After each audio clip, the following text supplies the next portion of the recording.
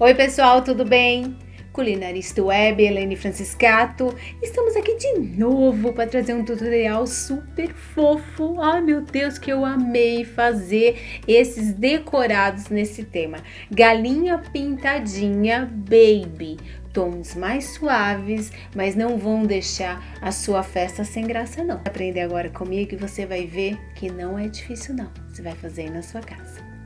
Prontos? Então vamos lá. Para fazer isso é muito fácil. Molde de borboleta, a gente vai usar pasta americana tingida de amarelo. Vou colocar um pouco de CMC nessa massa porque eu preciso que ela fique rígida. Sim, porque senão eu quero dar um efeito na borboleta que vocês vão ver daqui a pouco. E se tiver com a pasta sem o CMC não vai rolar, tá? Pego um pedaço pequeno e eu vou encaixando neste molde que é o muito fofo. Gosto muito. Três tamanhos de borboleta. Aí é um molde que vale a pena investir, viu, povo? Ele é rasinho, tá? Então você tem que ir devagarzinho e encaixando a pasta americana e tirando o excesso. Tem que ter paciência? Tem que ter paciência. Olha lá, quer vir junto com o dedo? Lógico, quer vir. Super romance. E aí a gente, ó, o que sobrou, vou colocando para dentro, coloco com rolinho, vou apertando. Vai valer a pena, ó. Olha para tirar. Vai devagarzinho e olha a nossa borboleta. Ela é fina, linda e perfeita para o que a gente vai precisar usar. Olha que show de bola. Muito bonita, né? Coloquei um apoio para colocar a nossa borboleta com movimento, tá? Ou seja, é a famosa calha. E eu vou colocar, olha todas todas lindas e perfeitas. Como eu fiz? Deixei de um dia pro outro. Pasta americana branca com um pouco de vários tons de azul que vocês puderam perceber porque eu quero fazer um efeito de céu e mistura. Misturou? Ficou um pouco rajadinho, né? Não ficou muito liso. Ou mesmo se ficou, ficou um tom de azul claro. É isso aí que a gente vai usar.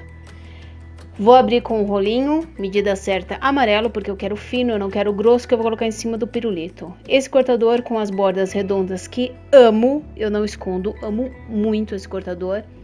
Dá toda a diferença, gente. Dá a diferença sim, fica muito fofinho. E corto a quantidade que eu preciso. Como eu vou colar? Eu vou colar com CMC. Pasta americana tingida com corante soft gel verde, coloquei muito pouquinho, tá? E aí rolou esse tom aí show. Abri, com o rolinho, venho com a régua e corto reto, uma faixa reta embaixo, e você vai perceber que eu vou estar tá usando uma régua que é show de bola, que parece grama, aí tem uns que vai falar que é fogo, enfim. É dessa maneira aí, tá? E vou cortar a graminha.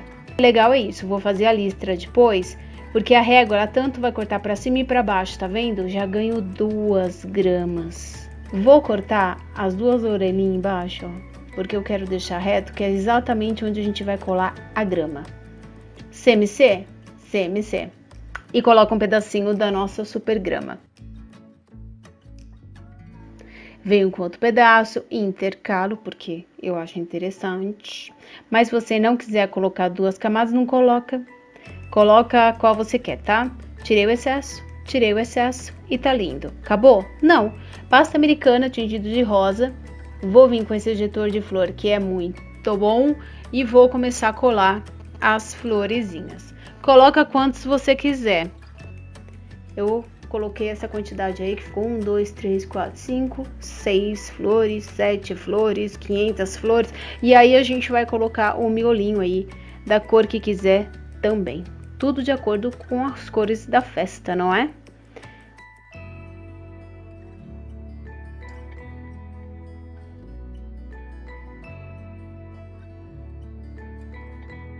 Borboleta lá, colado com CMC. Entendeu por quê? Ainda venho com a faquinha, ó, e dou uma apertadinha. É de leve, tá? Porque senão você pode destruir tudo o que você fez de um dia pro outro. Venho com a outra, ó. Pressiono, pressiono. Olha a borboleta com movimento. Vocês estão podendo? Pó pérola, pincel e eu vou pulverizar todo o nosso pozinho aí para ficar toda brilhante, a linda e toda perfeita. Quem disse que eu preciso fazer tudo de galinha no tema da galinha? Não. Hum. Consigo fazer isso também em tema de festa de jardim. Olha que máximo.